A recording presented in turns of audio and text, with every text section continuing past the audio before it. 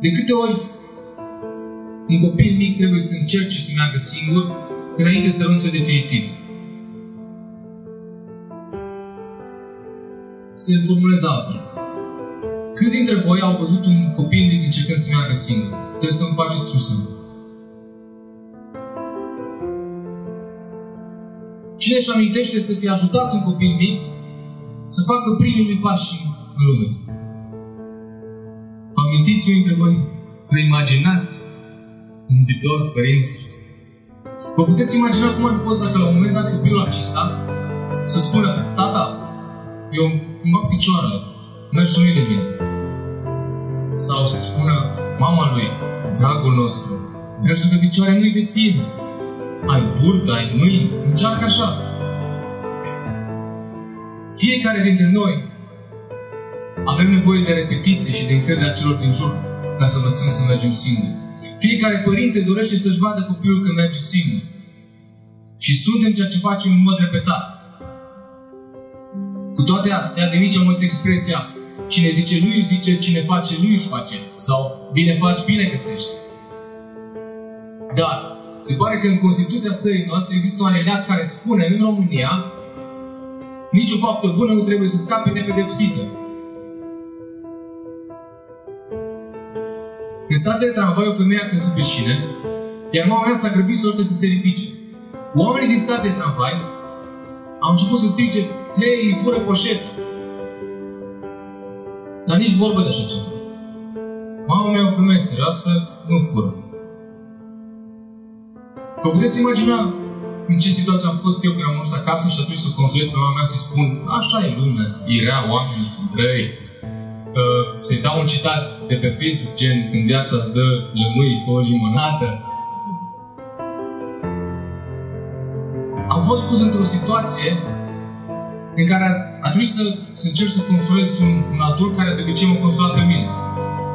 Și auzind întâmplarea aceasta, mi-am dus aminte de un citat care spune ai voie să privești un om de sus doar când îl ajut să se ridice. Și ar trebui să privim facerea de bine ca pe ocazie de a ne face nouă înșine un bine. Știu că mulți de voi sunteți tineri și o să spuneți, bine, Fabi, eu sunt student. Eu, eu nu am bani, nu pot să ajut. Unii dintre voi veți spune, Fabi, eu lucrez 10 ore pe zi, nu am timp.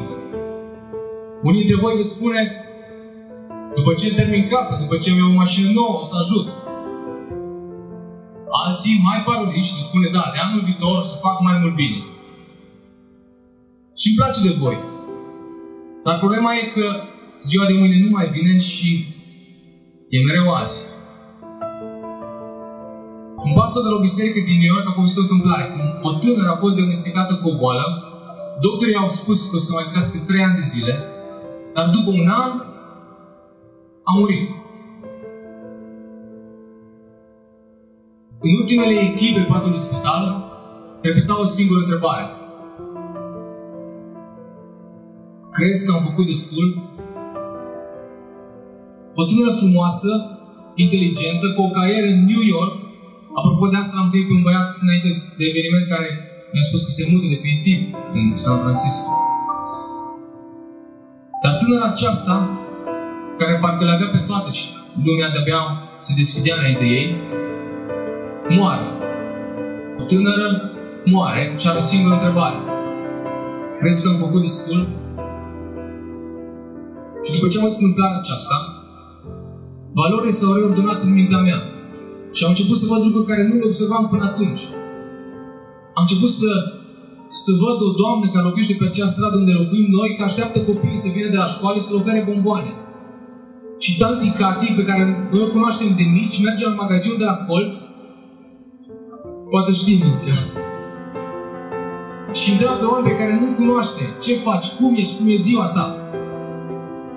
Tanti Cati care de să mai ține de picioare mătru trotuarul 5 case distanță de unde locuiește și văzând cum frunzele cad toamna și se, se luptă să mătră trotuarul și la vecini, am înțeles că aceeași întrebare o frământă și pe ea. Crezi că am făcut destul? Va veni o zi când o singură întrebare va conta, o zi în care ochii se vor închide și inima o să se audă tot mai tare. Crezi că am făcut destul? Când Anthony Robbins s-a întâlnit cu Maica Teresa, a întrebat-o pe aceasta ce te motivează pe tine să ajuți oamenii și cuvintele ei simple, Maica Teresa a spus ce motivează pe mine să ajut oamenii este să văd că mor cu zâmbetul pe buze. Și tot Maica Teresa a spus că nu putem să facem lucruri mari care să schimbe întreaga lume, dar fiecare dintre noi putem să facem lucruri mici cu dragoste care să schimbe lumea cuiva pentru totdeauna.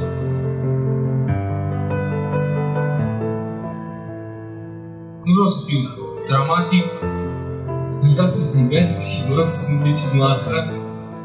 Mesajul meu final. Toți cei care ați, ați găsit resurse să fiți prezenți în seara aceasta aici, mesajul meu în toată inima pentru voi este binele pe care îl faci azi s-ar putea ca mâine să fie uitat. Oamenii cărora le faci bine s-ar putea să întoarcă rău. Tu fă binele tot timpul. Și în mod special fă binele atunci când e cel mai greu lucru de făcut într-o situație. Faptele din viața aceasta au un ecou în eternitate și cu tot ce facem aici ne vom întâlni într-o zi. Fă bine de fiecare dată când ai ocazia. Nu lăsa pe mâine ce poți să faci azi. Trăiește fiecare zi ca și cum ar fi ultima, pentru că într-o zi chiar va fi. Zâmbiți, vă rog. Și răspundeți-mi la o întrebare. Tu crezi că ai făcut destul? Mulțumesc!